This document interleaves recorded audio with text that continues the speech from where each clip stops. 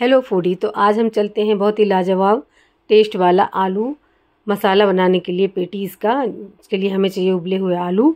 उसको हम अच्छे से मैश कर लेंगे छील करके। उसके बाद हमें चाहिए एक इंच अदरक का टुकड़ा। उसको हम छील के बारीक घिस लेंगे। एक से दो हरी मिर्च चाहिए, जितना आपको तीखा रखना है। उसको भी छोटे छोटे टुकड़ों में कट कर लेंगे।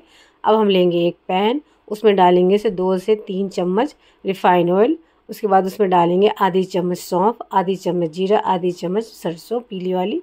उसको आधे सेकंड के लिए भून लेंगे। अब उसमें डालेंगे घिसे हुए अदरक और हरी मिर्च।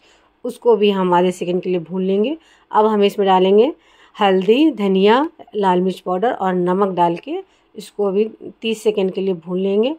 और अब डालेंगे हम आमचूर पाउडर, आधी छोटी चम्मच। इस गैस को हम बंद कर देंगे। अब हम इसको चला करके फिर इसमें उबले हुए आलू जो थे, उसको मिला करके अच्छे से मिला करके मैश करेंगे। उसके बाद हम इसमें डालेंगे थोड़ा सा कसूरी मेथी।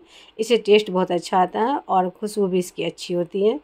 तो स्वाद भी इससे आता है बहुत अच्छा। तो ये हमारा आलू बन के तैयार हो गया है। ये देखिए, अब हम पेटीज में भर करके इसको अच्छे से तेल में फ्राई करेंगे। और पेटीज़ को अलट पलट करके अच्छे से फ्राई करेंगे और इसकी परत खुलने तक इसको तलेंगे, गोल्डन ब्राउन होने तक और हम इसको पेटीज़ को निकाल लेंगे। ये बहुत ही टेस्टी इसका आलू मसाला होता है।